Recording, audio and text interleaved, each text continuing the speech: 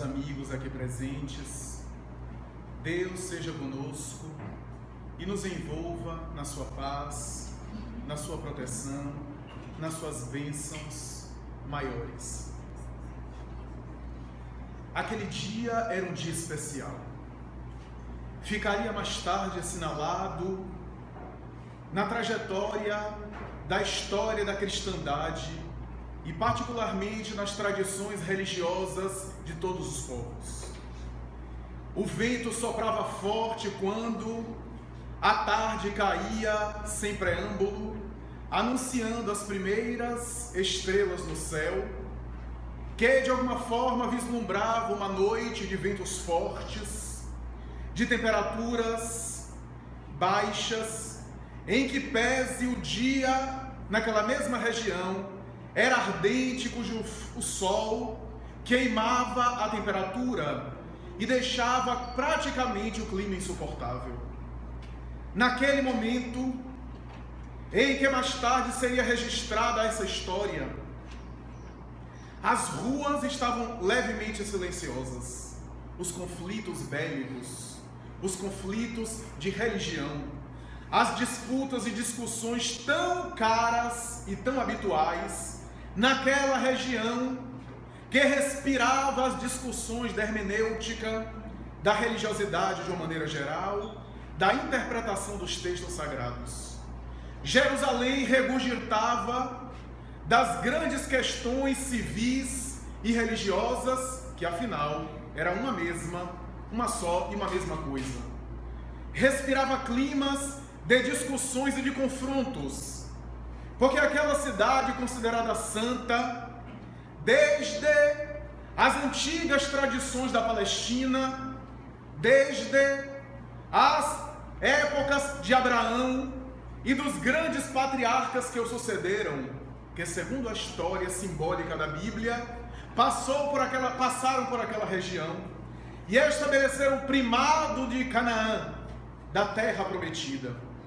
Aquela região famosa que mais tarde entraria em uma espécie de conflito com o norte de Israel, dividindo-se entre o reino de Judá, cuja capital era ela mesma, e a Samaria, que ficaria conhecido como norte de Israel, estabelecendo conflito entre as tribos, as famosas tribos de Israel.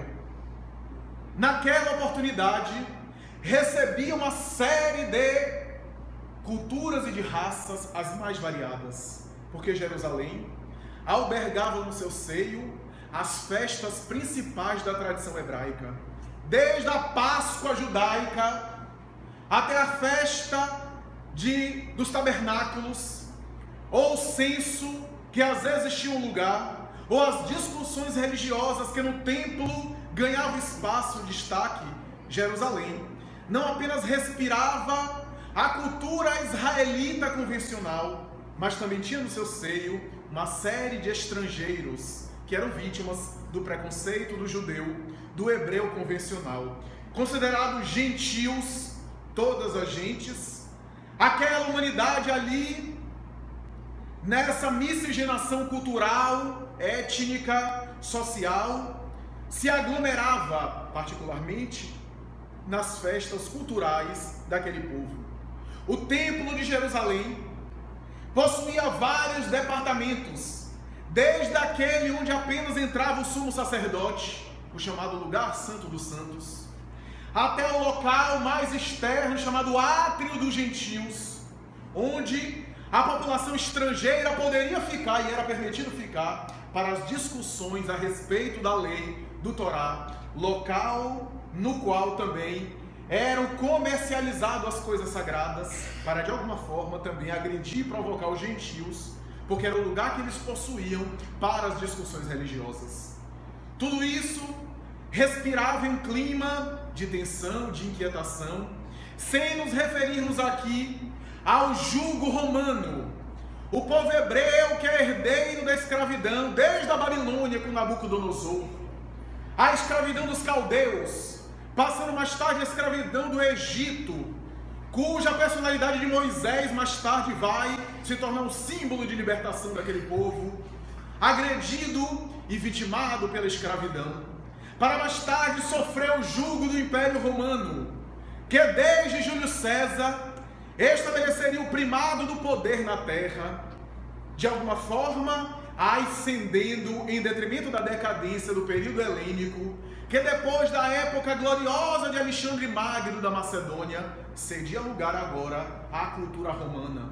O hebreu detestava o jugo de Roma, a escravidão e o domínio opressivo do romano, que não obstante estabelecer a liberdade religiosa e dar autonomia cultural, em troca cobrava impostos exorbitantes e estabelecia leis bastante rígidas para oprimir o povo sofrido de Israel. Aquele dia, no entanto, ficaria especial. A Torre Antônia, do lado do famoso Templo de Jerusalém, não deixava de ser uma agressão ao judeu, porque era o símbolo romano do lado do templo religioso dos fariseus. A Torre Antônia, que era uma espécie de símbolo de Roma para dizer que Roma estava vigiando, que foi erguido por Herodes o Grande para, segundo a tradição, agradar os grandes governadores e governantes e potentados romanos, que na época vivenciavam o segundo triunvirato entre Otávio, Lépido e Marco Antônio.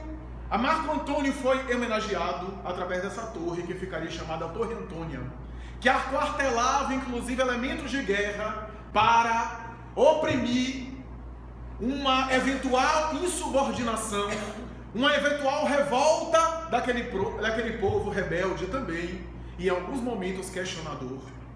A Torre Antônia parecia uma pedra estática, marmórea, e assumiu um destaque especial naquela noite. O templo já estava com suas portas fechadas, porque o dia na época do povo hebreu acabava às 18 horas. Às 18 horas era a última hora era o equivalente a zero hora ou 24 horas nossa. E a partir das 16 horas começava-se o dia seguinte. Portanto, as portas já haviam sido fechadas do templo de Jerusalém. Os fariseus, chamados também doutores da lei, não apenas eram religiosos do templo, mas eram também autoridades do direito. Eram autoridades civis, penais, para estabelecer a regulação do povo, as leis convencionais, uma vez que o judiciário, o legislativo, o executivo era uma coisa só e estavam ao mesmo tempo misturados com o religioso. Daí eles eram doutores da lei, ou seja, eram operadores do direito e ao mesmo tempo eram sacerdotes do templo, porque era uma coisa só. A lei era a tradição da Bíblia hebraica, particularmente o Pentateuco de Moisés, que ganhava primazia, os cinco livros de Moisés, que era uma lei não apenas moral religiosa, mas a ética civil e o código penal. Naturalmente que nessa circunstância o templo também ganhava destaque. Aquele templo famoso que foi atacado, destruído mais de uma vez e reerguido. O primeiro templo de Jerusalém, segundo a tradição, deve ter sido construído na mesma região onde Abraão passou com seu filho Isaque e que teria, seria aquele local em que na tradição simbólica do Antigo Testamento ele deveria sacrificar o próprio filho, segundo a história bíblica, e o seu filho na última hora foi poupado por Yahvé, escolhendo mais tarde um cordeiro para sacrificar, para matar e oferecer em holocausto a Yahvé em, em detrimento do próprio filho Isaac, que seria mais tarde o futuro patriarca de Israel, dando prosseguimento à tarefa do seu pai Abraão. Isaac que geraria Jacó e Jacó que geraria doze filhos, que configurariam mais tarde as doze tribos famosas de Israel, entre as quais a tribo de Judá, que mais tarde predominaria em Jerusalém, preservaria a sua cultura em detrimento da miscigenação que ocorria com as outras tribos, e naturalmente a tribo de Judá vai ser a mais famosa, dando origem à expressão Judéia, judeu e Jerusalém, a capital da Judéia. Tudo isso acontecia de uma maneira que, naquele dia, parecia que essas memórias, essa história passava pela mente popular. A mente popular nunca esqueceu que o templo foi construído por Salomão, o sucessor do rei Davi. Rei Davi, que por sua vez havia erguido e, e arregimentado uma série de elementos materiais para construir o templo, mas não houve tempo. E mais tarde o seu sucessor, Salomão, ergueu aquele templo para estabelecer a primazia de Israel. Mais tarde foi saqueado, destruído por Nabucodonosor, na famosa invasão babilônica, na famoso cativeiro babilônico que a história registra. O segundo templo foi construído após esse cativeiro e erguido mais ou menos na mesma região para preservar a tradição. E anos depois, no século I a.C., foi embelezado pelo próprio Herodes o Grande, que, segundo a tradição histórica, odiava os judeus, embora tentava também agradar os judeus para governar Israel, em nome de César. Herodes, que era uma das personalidades mais tenebrosas e mais infelizes da sua época, que chegou a mandar assassinar sua esposa diante de uma desconfiança de adultério que nunca se confirmou. A sua paranoia e o seu delírio era tão grande que chegou a matar os próprios filhos com medo de ele roubar-lhes a coroa.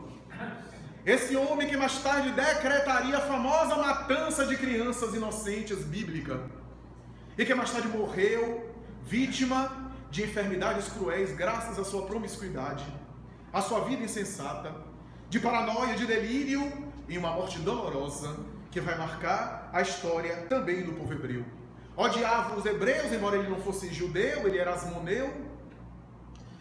E pelos hebreus também ele era odiado. Embelezou o templo de Jerusalém, colocando inclusive uma parreira de ouro para homenagear Jeová. E naturalmente para agradar as populações a fim de que ele continuasse governando. Mas naquele dia, o silêncio na noite, da noite que se abatia sobre Jerusalém era maior. O plenilúnio, a lua cheia, estava radiante. Selênio parecia acentuar a sua presença, particularmente anunciando um momento especial que deveria acontecer naquele começo de noite, a partir das 18, 19 horas. Jesus estava em Jerusalém, passava pela região.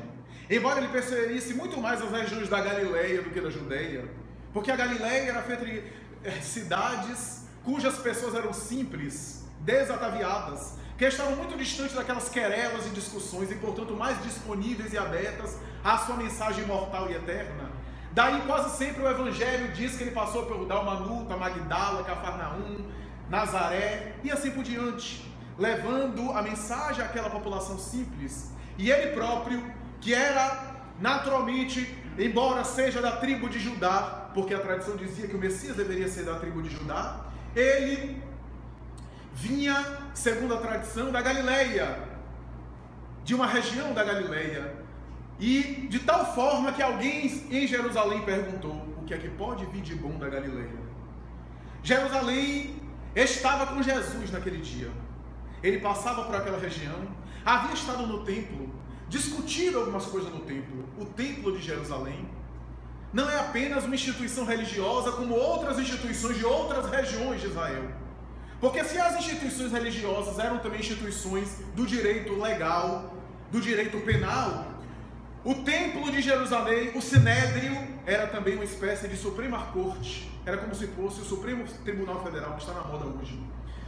Naturalmente que era onde as questões máximas reuniam os 70 a 72 juízes, segundo a tradição, que tinham herança e que remetiam herança de Moisés, 72 pessoas, e que tinha 72 juízes representando várias comunidades para decidir as questões legais. Mais tarde, o apóstolo Estevão vai ser martirizado naquele mesmo sinédrio.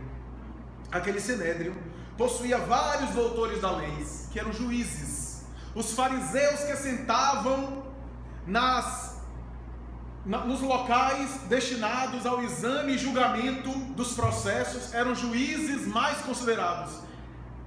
Novamente fazendo analogia, seriam ministros de justiça na nossa cultura brasileira. E aquela cultura estabelecia padrões legais muito rígidos e ao mesmo tempo distorções legais bastante gritantes. Entre os 72 juízes havia um juiz que era o mais jovem de todos, e que olhava aquela cultura de juízes, colegas seus, e se questionava se ele e os seus colegas estavam realmente seguindo a tradição do Torá. Esse homem, que de vez em quando examinava aquelas questínculas e perguntava: será que nós, os fariseus, não seriam as ovelhas perdidas da casa de Israel que falam os profetas do Antigo Testamento? E que mais tarde Jesus se referia também? Será que somos, não somos nós que nos engolfamos na hipocrisia? No íntimo ele achava que a interpretação bíblica, a interpretação da Torá não estava correta. Que faltava alguma coisa, um ar de renovação. Há mais de 400 anos a boca profética havia silenciado os lábios. Nunca mais Jerusalém ouvia um profeta passar por ela anunciando alguma coisa. E esse homem, chamado Nicodemos Bar Nicodemo, ouviu falar daquele peregrino estranho que chamava a atenção que se estava, se estava tornando uma personalidade popular. Jesus, chamado Cristo, estava na cidade, mas era um profeta muito diferente daqueles profetas convencionais da cultura hebraica. Era um profeta simples, desataviado, que tinha atitudes estranhas para os padrões da cultura israelita. E ele tinha um amigo, que possuía um amigo que por sua vez tinha uma amizade com um dos discípulos dele. E através dessas relações tão típicas das altas camadas de Israel na antiguidade, ele conseguiu marcar uma entrevista. Os historiadores do cristianismo e os teólogos dizem que essa entrevista deve ter se dado às escondidas, porque dos quatro evangelistas só um registra, João, capítulo 3, versículo de 1 a 12, e mesmo assim o diálogo parece entrecortado dando a entender, segundo Daniel Hopes, que era materialista, segundo Plínio Salgado, aqui no Brasil, que era cético, segundo Ernest Renan, também acadêmico de hebraico e cético, todos eles dizem que é provável que João Evangelista não deve ter participado diretamente do diálogo, não deve ter estado presente, ficando à porta da casa onde Jesus estava hospedado, para vigiar qualquer coisa, para anunciar alguma coisa e ouvindo diálogo à distância. Porque o próprio diálogo, no capítulo 3 de João, começa com a resposta, dando a entender que a pergunta não foi escutada pelo evangelista. João registraria com a sua habilidade literária, mística, poética, esse grande homem que escreveu o Apocalipse, aquela conversa que ficaria marcada nas páginas do cristianismo, em que o doutor da lei procura o Cristo às escondidas à noite porque, como era uma personalidade conhecida, não poderia procurá-lo à luz do dia, porque seria identificado pela cultura popular. Nem poderia chamar Jesus à sua casa, porque isso também geraria uma balbúrdia, uma maledicência, uma confusão e uma distorção. Nem Jesus ia também submeter e banalizar sua mensagem nas, na região do Sinédrio ou diante da ironia dos doutores da lei. Por isso ele marcou entrevista às escondidas e quando se aproximou, dizem os bons espíritos, o evangelho não anota isso, que ao se aproximar daquele homem, Nicodemos foi tomado por uma emoção muito grande. Sentimentos contraditórios começaram a explodir dentro do seu mundo íntimo. E ele, segundo a colocação do evangelista, diz: Senhor, sabemos que tu és de Deus, porque somente Deus pode estar contigo ou com aquele para falar as coisas que tu falas. E Jesus, segundo o evangelista, responde: É necessário nascer de novo para entrar no reino dos céus.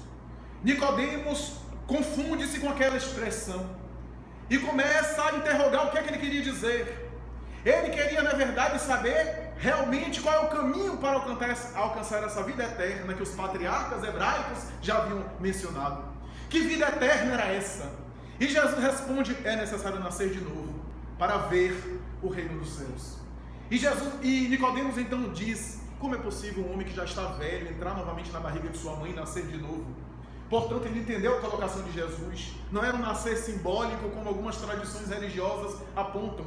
Era um nascer realmente, fisicamente, novamente. E Jesus vai dizer: És mestre Israel e ignoras essas coisas? Porque a doutrina das múltiplas reencarnações era conhecida. Eu te digo e não te espantes de eu te dizer: é necessário nascer da água e do espírito para entrar no reino dos céus. Porque o que nasce da carne é carne, o que nasce do espírito é espírito. Ouve muito bem, porque o espírito sopra onde quer, não sabe de onde vem, nem para onde vai, mas todo aquele que nasce da água e do Espírito entrará no reino dos céus. Nicodemos parece se embaraçar ainda mais, se confundir, e Jesus vai dizer: Em verdade, em verdade te digo, só falamos daquilo que vimos, e só vimos aquilo que testificamos, que vivenciamos. Se eu vos falo das coisas da terra, porque a reencarnação é uma lei espiritual, moral, mas também material que tem implicações biológicas, portanto, da terra. Se eu vos falo das coisas da terra e não compreendereis, não compreendeis, como me compreendereis quando eu vos falar das coisas do céu? E aquele diálogo ficaria escrito nas páginas do Novo Testamento, para nos dar uma ideia da beleza e da profundidade desse diálogo que João coloca de maneira sucinta. A água para o hebreu era o símbolo da vida orgânica da material. Nascer da água, nascer do corpo, embora as tradições religiosas mais tarde colocaram nascer da água como sendo nascer da água do batismo. A tradição de se batizar.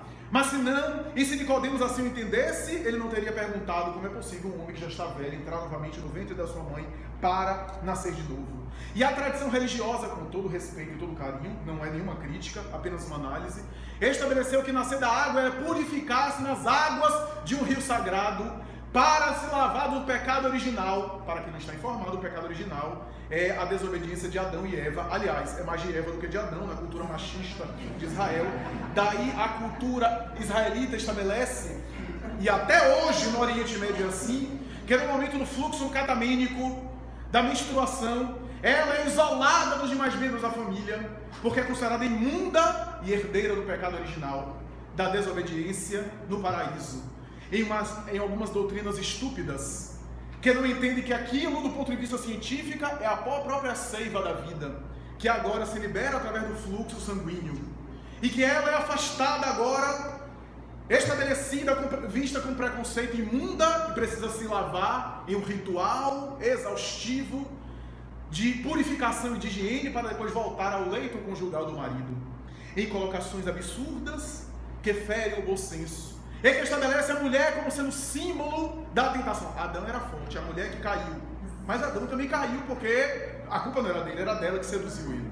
Então é toda uma cultura voltada para essa postura. E o batismo em águas sagradas remonta à própria época de Jesus e antes. Porque algumas pessoas, se arrependendo dos equívocos, simbolicamente se batizavam e mudavam de nome. Assim João o Batista fez. E alguns vão dizer, mas Jesus foi batizado. É verdade, foi batizado. Aliás, João o Batista, que era primo seu de segundo grau, nem quis batizá-lo. Ele chega a dizer, mas tu não tem pecados, batiza tu a mim, que eu que deveria ser batizado por ti. E Jesus responde, não, faze-o tu, porque assim está escrito nas Escrituras que o Messias deveria ser batizado, imerso nas águas do Rio Jordão. A velha tradição, que Jesus estava muito acima daquilo, mas se submetia aos rituais e à cultura. A tradição dos rios sagrados, no Jordão, na Palestina, o Rio Jordão, no Egito, o Rio Nilo, o Yangtze Yang, que é na China, e vários rios sagrados, como o Ganges na Índia, em que as pessoas acreditam que ali verte a vida e que tem também bálsamos e bênçãos. É a tradição, e embora Jesus aceitou ser batizado, nunca batizou ninguém. Em nenhum momento da vida do seu evangelho, nós vamos ele batizando qualquer pessoa. A doutrina da reencarnação era colocada de uma maneira especial. Jesus chega dizer: nascer, da, nascer de novo para ver o reino dos céus. O escritor espírita Hermínio de Miranda vai dizer, em uma bela obra chamada Reencarnação na Bíblia e na Ciência, que quando Jesus diz nascer de novo para ver o reino dos céus, equivale a dizer que os processos das múltiplas existências carnais faz com que a pessoa vislumbre, veja o reino dos céus. Mais adiante, Jesus vai dizer a Nicodemos: No entanto, é necessário nascer da água ou do espírito, isso é, da carne e do espírito, para entrar no reino dos céus. Uma coisa é eu ver o reino dos céus, outra coisa é eu entrar no reino do céu. Porque as múltiplas vidas nos dão a ideia do reino dos céus, mas para entrar é necessário nascer do corpo, da água e nascer do espírito, a renovação interior, a mudança de atitude moral para melhor, o desenvolvimento dos valores éticos para desenvolver-se para evoluir a tradição histórica da reencarnação. Sócrates, Platão, Buda, Krishna, Hermes Trimegisto, Pitágoras, todos eles, os grandes sábios do passado, conceituavam a reencarnação. E assim por diante, os grandes avatares, os grandes santos de todas as tradições defendiam a tese da reencarnação. Na tradição sagrada de todos os livros, há a menção da doutrina reencarnatória. Os cristãos primitivos apontam a ideia da reencarnação até o ano de 553, quando, no segundo concílio ecumênico de Constantinopla, a reencarnação foi considerada uma heresia, foi voltada como sendo uma tese que não faz parte do cristianismo e expulsa do Ocidente, graças ao imperador Teodoro, que de maneira muito democrática estabeleceu o concílio ecumênico de Constantinopla, ameaçando que aquele que votasse a favor da reencarnação ele passaria a fio de espada. Então, coisa muito democrática, todo mundo votou contra a reencarnação e a reencarnação foi exilada tecnicamente do Ocidente. Não obstante, mesmo no Ocidente e no Oriente, a reencarnação continuava sendo apregoada, seja pela doutrina do samsara no budismo, seja pela doutrina do karma, em alguns momentos de maneira distorcida, seja alguns cristãos esotéricos e místicos que acreditavam na reencarnação. O Espiritismo consegue fazer a conexão do Oriente com o Ocidente faz essa aliança. Quando vai dizer que a reencarnação é um processo educativo e não fatalista, como o terrível sistema de castas estabelece até hoje na Índia, a ideia de que o indivíduo é pobre ou miserável, ou é doente, ou é excluído social e deve ficar assim sem ser ajudado, é um pária, porque ele fez algo de errado no passado e é necessário sofrer aqui na Terra. É uma visão da reencarnação que tem um certo sentido, mas que é exagerado e é distorcido numa visão fatalista, como se Deus gostasse que as suas criaturas sofressem. Essa ideia o Espiritismo supera, mas também traz a reencarnação no Ocidente que foi exilada, a unindo, uni, unindo, vinculando a doutrina da reencarnação em uma colocação educativa com o amor que cobre a multidão de pecados que Jesus houvera anunciado. Em que o processo da reencarnação não é para sofrer, mas para melhorar-se, para se aprimorar, para desenvolver os valores, para ampliar as suas propostas. E graças a isso, é a doutrina espírita, através dos espíritos imortais, que explica o próprio processo reencarnatório, em que o espírito, antes de mergulhar na carne, seleciona, quando é o caso, as provas pelas quais ele deve passar. Ele opta pelos ensejos quando tem discernimento. Ele opta pelas suas oportunidades quando tem condição de fazer escolha, ou os bons espíritos acima dele, quando ele não tem discernimento, escolhem por ele e o encaminham ao processo reencarnatório. Todas as tradições falam de reencarnação, mas só o Espiritismo para explicar esses meandros, esses processos, esses detalhes, quando vai dizer que o processo reencarnatório está em perfeita sintonia com o conhecimento acadêmico e não é contrário à ideia de Deus, nem contrário à ideia da evolução biológica, da embriogênese, da eugenia e assim por diante. A reencarnação consegue dar uma finalidade existencial à própria fecundação sexual, quando os espíritos dizem que o processo reencarnatório começa na fecundação, quando o gameta masculino fecunda o gameta feminino, tornando-o célula-ovo ou neuroblasto, e através da mitose celular, não vamos encontrar um corpo se dividindo e se estruturando em uma estrutura de ser humano que nasce da água, 70% feito de água, o corpo humano, em líquido amniótico, fecundado por duas gotas de água que se fundem em uma fusão para gerar o novo ser através dos processos automatistas de natureza genética.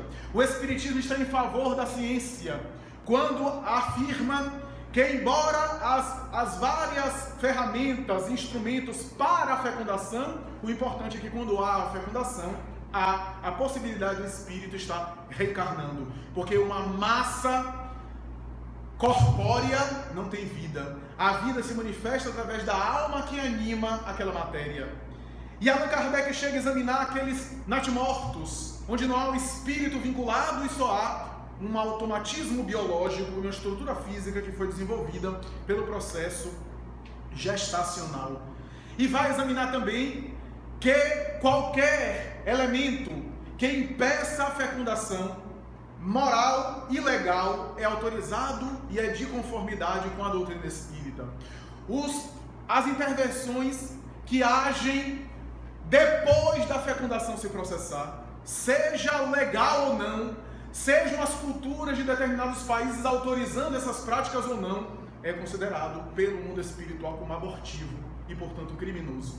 Portanto, os métodos devem ser antes da fecundação, razão pela qual nós, os espíritas, acreditamos e defendemos que a pílula do dia seguinte e alguns métodos, como é o caso dos dispositivos de intrauterino do passado, porque alguns hoje impedem a fecundação, inclusive liberando hormônios, mas os dias antigos que agiam após a fecundação no processo de nidação, quando o óvulo está tentando se fixar nas paredes uterinas, é considerado por nós e por mundo, pelo mundo espiritual uma prática abortiva e evitável. Portanto, a reencarnação vai dar uma ideia dessa grandeza de Deus. Vem nos dizer que o espírito é herdeiro da lei de causa e efeito. Para toda causa gera seu efeito. E todo efeito é oriundo de uma causa correspondente àquilo que foi desencadeado. Daí o espírito mergulha na terra e experimenta as circunstâncias que ele próprio desencadeou em um processo de causa e efeito. Daí a ideia simbólica bíblica de que o semear é livre, mas o colher é obrigatório. Eu posso semear o que eu quiser, mas eu vou ser obrigado a colher aquilo que eu semeei. É essa lei inamovível, essa lei de causa e efeito. E os espíritos vêm dizer que o planejamento reencarnatório parte, a princípio, começa dessa lei de causa e efeito, através da qual o próprio perispírito do reencarnante guarda, guarda na sua memória os elementos das reencarnações passadas, especialmente da última existência, o seu comportamento, os seus méritos e os seus deméritos, e por um processo automatista já produz e já gera as condições propiciatórias para a reencarnação seguinte. Em outras palavras, nós estamos na existência atual programando a nossa próxima encarnação. Com os nossos atos, com a nossa conduta, estamos já planejando o nosso futuro processo. Mas o planejamento é mais sofisticado. E os espíritos costumam dizer que há, em linhas gerais, porque é, é infinito, mas em linhas gerais podemos dizer que há três grandes grupos de planejamento reencarnatório. O planejamento reencarnatório de espíritos muito missionários, cujo planejamento é muito bem elaborado. O mapa genético, as heranças cromossomiais, a cromatina, o DNA, a estrutura familiar, as condições sociais, especificidades compatíveis com a tarefa daquele espírito que vai reencarnar e que tem uma tarefa grandiosa, que tem um raio de ação coletivo. Do outro extremo, nós temos os espíritos bastante primários, bastante primitivos, que não têm condição nem de participar do seu processo reencarnatório, que se assemelham a crianças sem discernimento, que se deixarem ele por livre escolha, eles nem escolhem reencarnar. E os bons espíritos discernem por eles e os encaminham para a reencarnação, programando as suas reencarnações. E no meio, a grande classe média, digamos, a grande maioria dos espíritos está a maioria de nós, que tem os seus méritos e os seus deméritos, que tem algumas conquistas e que também tem muitos deslizes, e que tem uma certa autonomia de opinar, de reivindicar, de solicitar, mas aquela solicitação vai passar pelo deferimento ou pelo indeferimento dos técnicos da reencarnação que vão organizar o nosso mergulho na carne, que vão avaliar se aquilo é procedente ou não, se aquilo é viável ou não. A maioria das criaturas tem a condição de até opinar, de até tentar escolher, mas aquilo vai ser avaliado pelos mentores da vida maior.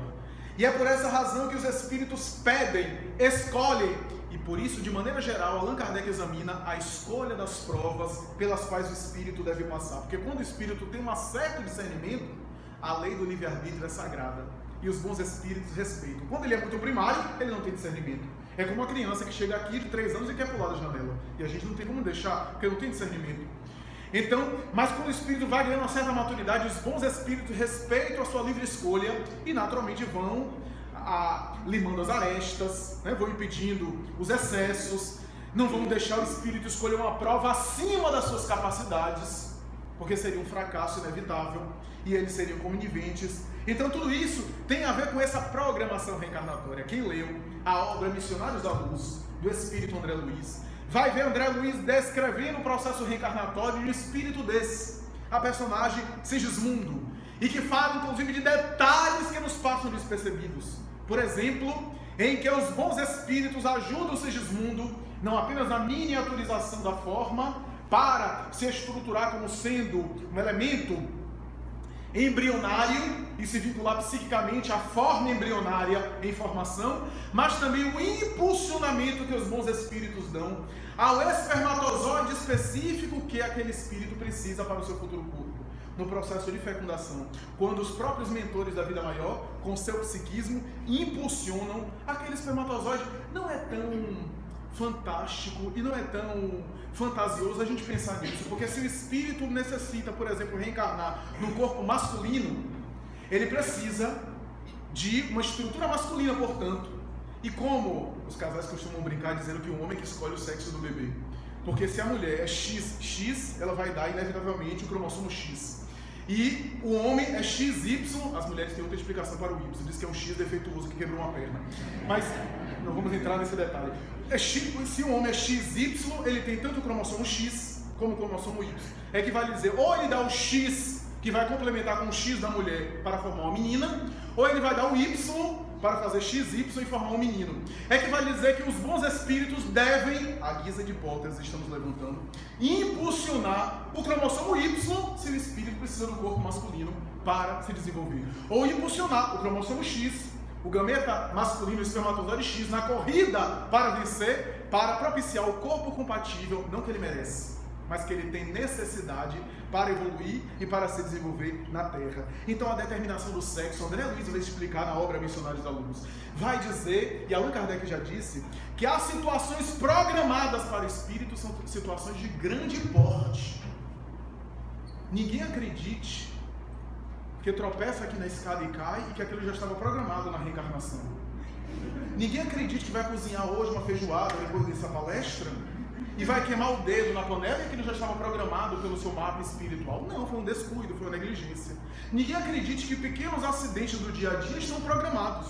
Agora, os acontecimentos de grande porte, aqueles acontecimentos que nos abatem sem que a gente tenha provocado, porque o suicídio também não está programado e a pessoa que comete, que desencadeia. Mas se eu não provoco esses acontecimentos me afetam e me abalam de natureza maior, aquilo já estava sendo programado pelo planejamento reencarnatório, uma enfermidade teratológica, uma questão genética, uma enfermidade que mais tarde vai desabrochar em determinado período da vida, são acontecimentos de grande porte, ou então determinados acontecimentos que abalam o nosso moral na Terra, estão programados as pessoas com as quais a gente vai se relacionar, não apenas na grey familiar, no clã familiar, mas também aquelas que reencarnam mais ou menos no mesmo período, que estão mais ou menos próximas e que inevitavelmente a gente acaba se defrontando, se relacionando com elas. O que é que a gente vai fazer dessas relações? É o nosso livre-arbítrio de agora.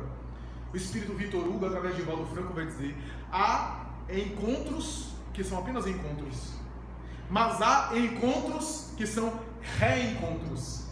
Mas há também reencontros que são dolorosos desencontros.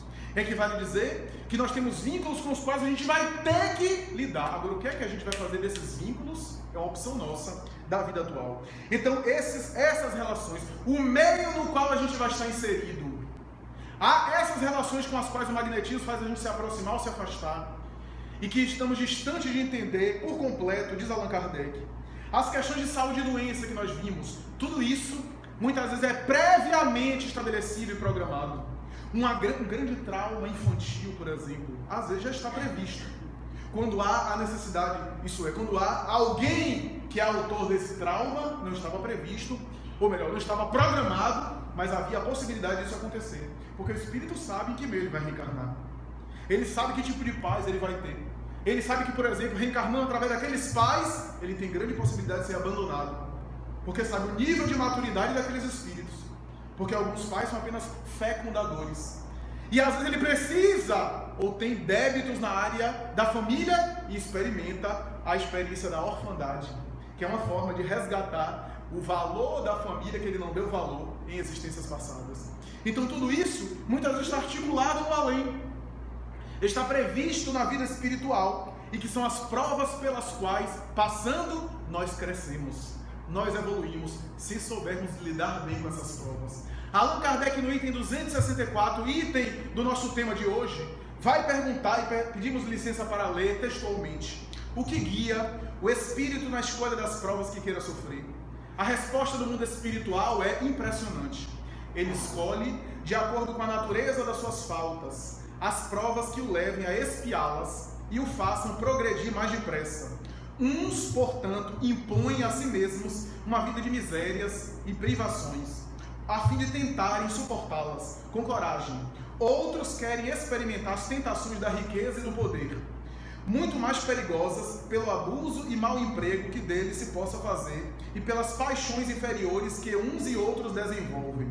Outros finalmente querem ser provados nas lutas que terão de sustentar no contato com o vício. É que vale dizer que o que guia o espírito na escolha das suas provas, respondendo à questão maior, em outras palavras aqui, são as suas necessidades internas, as suas imperfeições. Eu preciso trabalhar quais imperfeições eu vou reencarnar no meio em que aquelas imperfeições vão ser trabalhadas em mim. Se eu sou muito orgulhoso, eu vou estar reencarnando no meio onde o meu orgulho vai ser ferido. Porque só se sente humilhado quem tem o ego ferido. Quem é humilde? Quem já conseguiu conquistar essa verdadeira virtude da humildade. E humildade aqui não é ficar se desprezando, se menosprezando, achando que é um nada, que é um rato moral. Não é isso. Mas a verdadeira humildade faz com que a pessoa não se sinta ferida diante de uma agressão. Porque ela, o humilde não se sente humilhado. Quem se sente humilhado é orgulhoso. Quem se sente ferido nos seus brios. Que se achava e que achava que tinha uma importância muito maior e queria que os outros tratassem ele dessa forma. Então eu vou ser colocado no meio nas condições nas quais nós vamos ser testados. Então, gente, que mal eu fiz a Deus? Que presunção. Como é que um sábio pode fazer mal às estrelas? Essa presunção. A Deus você não fez nada. Você fez a si mesmo. E a sua própria consciência, antes do berço, pediu essa experiência pela qual você se aprimora. Então é óbvio. Ou então, está tá muito bem, o professor Raul Teixeira costuma dizer isso, né? As pessoas dizem, é, você está muito bem? Melhor do que Deus quer. Então quer dizer que Deus é injusto. Porque se Deus estabelece algo que eu não mereço, então eu sou injusto. Não, se você está bem, se não está acontecendo nada com você, que sua vida está transcorrendo numa relativa paz, agradeça é mérito. De não estar passando por uma prova pesada, por um sofrimento muito cruel. É, se está, é porque merece. Porque senão a lei seria injusta e seria errada. Mas não fique muito feliz não, porque a prova vai chegar. Porque chega para todos nós. Mundo de provas e expiações. Né? Então, é inevitável essas experiências e essas provas têm um sentido de amadurecer o espírito, porque nós na carne pensamos, não, mas eu ia pedir então uma condição econômica bastante avantajada para fazer o bem, quase sempre não faz. Quase faz menos né, do que outros que estão na situação mais modesta, né, porque é muito difícil ser humilde, ser desprendido no poder e na opulência. É fácil ser humilde na miséria, mas é difícil ser humilde no poder em cargos de função importante, onde a gente se deslumbra, a gente se embriaga com aquilo. É muito difícil se manter simples, se manter puro de coração. Quando nós lemos as páginas do céu e inferno, nós vemos os espíritos fugirem das provas de poder, das provas de riqueza. É porque quando a gente pensa, ah, eu queria reencarnar assim milionário, então não tem muito problema em fazer a caridade para o próximo, né? Porque essa é a nossa mentalidade. Nós estamos pensando muito mais como homem da matéria do que como ser espiritual. Até porque não necessariamente fazer caridade material vai fazer com que o indivíduo transforme o seu mundo íntimo. Temos visto no além espíritos que fizeram até obras externas, mas não trabalharam o mundo interior, despertarem no além muito mal. A obra externa é importante quando ela é uma ferramenta para que eu possa evoluir e crescer com ela. Isso que fez Chico Xavier, isso que fez Mahatma Gandhi, isso que faz Divaldo Franco, isso que faz os grandes missionários. Mas há pessoas que muitas vezes fazem obras externas, mas não conseguiram superar a sua inveja, o seu temperamento irascível, a sua cólera, o seu ciúme, a sua ambição desmedida, a sua agressividade. Que, é que adianta, disse Jesus, salvar o mundo e perder a própria alma? E às vezes despertam muito mal, com consciência de culpa, arrependidos. A obra externa é importante, mas não esqueçamos que o nosso maior compromisso é com o terreno interior que nós temos e que devemos semear. Trabalhar nosso mundo íntimo, porque o reino de Deus, disse Jesus, é a obra divina no coração dos homens. Vai dizer ele na obra Boa Nova, através do espírito Humberto de Campos, por meio de Chico Xavier. Então, é necessário, portanto, essa proposta. É necessário entender, e por isso os espíritos fogem dessas provas muito arriscadas. Há uma mensagem do céu e inferno de um espírito que diz que passou por uma experiência de uma, de uma função de poder de riqueza muito grande, foi uma condessa na Terra. Foi um dos poucos casos que Kardec coloca no seu inferno de uma pessoa que foi poderosa, que foi rica e desencarnou bem. Renunciou muita coisa, tinha uma postura de dedicação ao próximo, né? abdicava de tantas coisas para servir ao próximo, a ponto de nem desfrutar direito da riqueza que tinha. Embora fosse obrigada como condessa, Maria, é, esposa do conde, portanto, de estar às vezes em rodas sociais, de estar às vezes presente em cerimoniais. E ela desencarna luminosa. E ela dá o depoimento a Allan Kardec dizendo: Eu só escolhi, eu precisava passar por essa prova, porque há mais de 10 séculos atrás eu estive na Terra como uma pessoa muito poderosa e fracassei dolorosamente. Depois disso, eu pedi a Deus para não tão cedo passar pela prova do poder. Reencarnei várias vezes na miséria, nas necessidades de toda sorte. E nunca pensava em optar por aquela experiência do poder mais. Depois de mais de 10 reencarnações, reencarnando na miséria quase absoluta, nas necessidades mais prementes, eu já senti que meu espírito estava um pouco mais forte para voltar à experiência do poder agora, porque eu necessitava passar de novo por essa experiência a fim de agora sair vitorioso. As provas. O mundo material é uma escola onde a gente está sendo avaliado, onde há espécie de avaliações morais. Não avaliado porque Deus está avaliando uma espécie de delírio de perseguição. Não é isso. É a avaliação da nossa própria consciência. As leis de Deus estão em nossa consciência. Daí, os desafios da reencarnação dizem respeito às nossas necessidades. Daí nós estamos no local certo, inserido no contexto errado. Ah, eu não pedi para nascer. Não pediu, não, implorou. E segure a vaga, porque a vaga está grande. E agora que os casais não querem ter nenhum filho, querem ter meio filho, é importante segurar a vaga. Porque a gente não sabe qual vai ser a próxima oportunidade.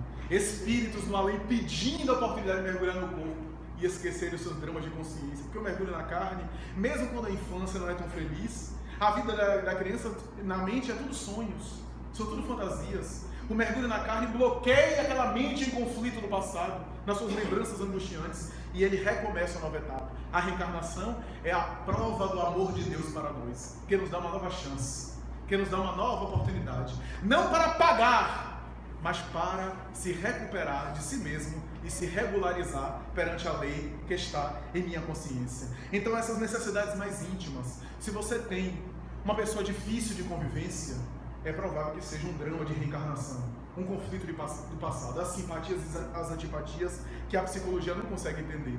Porque determinadas pessoas nos fazem tudo para agradar e a gente detesta. Vai, faz, acontece, e a gente diz, meu Deus, parece que faz tudo para nos agradar, até quando a gente vai abraçar, pisa no nosso pé. Faz, acontece, etc. Por quê? Não é que a pessoa está fazendo, às vezes, nada de tão assim grave mas é porque é um vínculo que nos faz ter um limiar de tolerância muito menor. E há outras pessoas que são os iaiá, que a pessoa até nos aborrece, a gente acha lindo, e a gente até diz, ó, se fosse outra pessoa, ia até me chatear, mas só porque essa pessoa eu acho engraçado. São os vínculos do passado, que a gente às vezes não tem ideia. Se você está com uma pessoa que você tem dificuldade, insista, insista na compreensão, porque ela é a grande mestra que vai te ensinar a verdadeira dedicação e abnegação. Aquele que já é o afeto querido já é conquistado, mas esse você precisa conquistar. Se você tem uma experiência difícil no trabalho, se você tem um desafio nas relações interpessoais, amorosas, se você tem uma experiência de carência em qualquer área, como diz Joana de Anjos, toda carência de hoje é o sinal do abuso de ontem. Carência afetiva, carência financeira, carência de saúde, foi o resultado do desperdício do abuso no passado e agora me faz falta aquilo que eu desperdicei e que eu me cedi.